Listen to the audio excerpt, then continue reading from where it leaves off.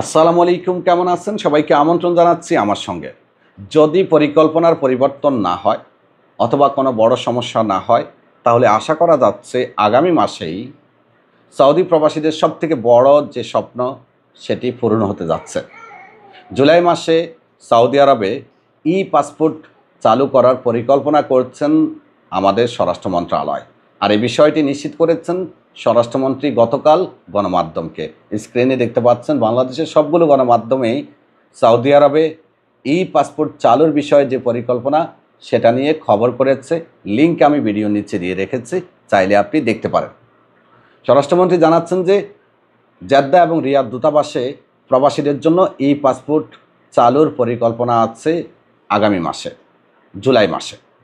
এবং তিনি এটাও নিশ্চিত করেছেন যে, মেশিনারিজ রিয়াদ এবং জেদ্দা কনসুলেটে অলরেডি পাঠানো হয়েছে। রমজান মাসেই কিন্তু ই পাসপোর্টের মেশিন রিয়াদ এবং জেদ্দা কনসুলেটে এসে গিয়েছিল।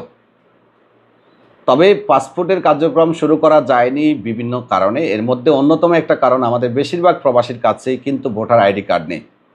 আবার যাদের কাছে আছে, তাদের তথ্যেরও অনেকটা গরমিল আছে বিদায়। রিয়াদ দূতাবাস ও জেদ্দা কনসুলেট কিছুটা পিছিয়েছেন। আর স্বরাষ্ট্রমন্ত্রীর নির্দেশে আশা করি হয়তো আগামী মাসেই ইনশাল্লাহ সব কিছু ঠিকঠাক থাকলে ই পাসপোর্টের কার্যক্রম শুরু হবে। আমরা হাজারো লাখো মানুষ অপেক্ষায় আছি। দেখা যাক, যেমনটা স্বরাষ্ট্রমন্ত্রী বলেছেন, পরিকল্পনা আছে। যদি সব কিছু ঠিকঠাক থাকে, তাহলে ইনশাল্লাহ আগামী মাসেই শুরু হতে পারে। আর শুরু হলেই রিয়াদ দূতাবাস ও জেদ্দা কনসুলেট থেকে বিষয়টি নিশ্চিত হয়ে আপনাদেরকে জানিয়ে দেওয়ার সর্বোচ্চ চেষ্টা করব।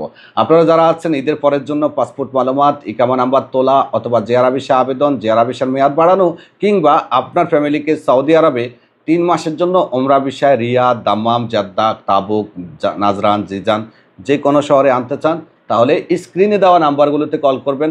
আমরা দিচ্ছি আপনাদেরকে ব্যাটার সার্ভিস। ভালো থাকবেন, আল্লাহ হাফিজ।